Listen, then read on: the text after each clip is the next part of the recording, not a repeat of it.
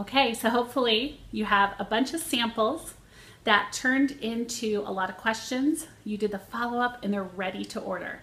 So now how do you explain our pricing to them? Here's what I do.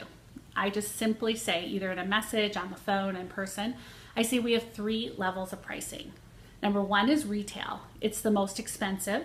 And typically um, it's for somebody who's gonna order one time.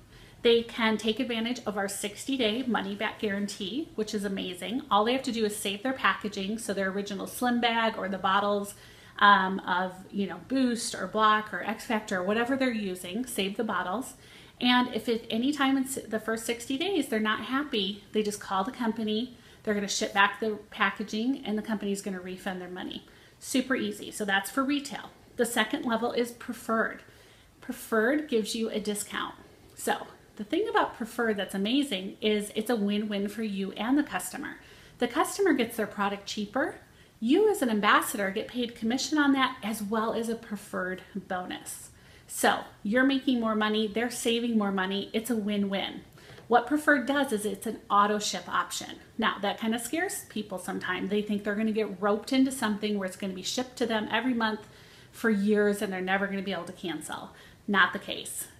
Plexus just asks that you give them 14 days notice before your shipment to cancel and they'll do it. You call customer service, you say cancel my preferred order, done. They're not gonna hassle you, they're not gonna transfer you from department to department. They're not gonna do any of that. They're just gonna cancel your order and that's it. Super easy. The third level is wholesale.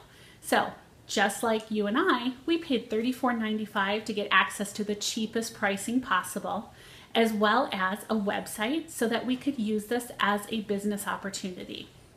So personally, I feel like that's a great way to go. Here's a question I get a lot. How do you know if someone should be a preferred customer or an ambassador? And here's what I say. If they're going to order less than $100 a month and they have no plans on sharing this business with anybody, keep them as a preferred customer because after three months, they're going to get an additional 10% off their order. So their pricing is going to drop to wholesale pricing anyway. And if they're buying under $100 a month, it's better for you to get the commission on that sale. But if they're ordering more than $100 a month and they're going to be sharing this with friends and family and those people are going to order through them, then you need to sign them on as an ambassador.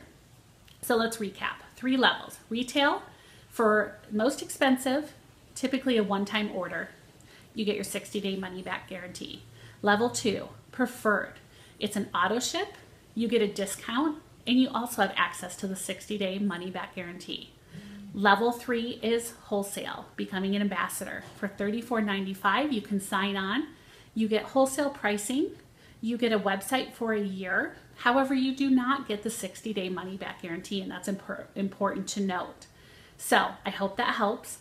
Um, attached in this email is a quick description of each that you can actually copy and paste into a message for your potential customers so they can see the difference as well. Good luck.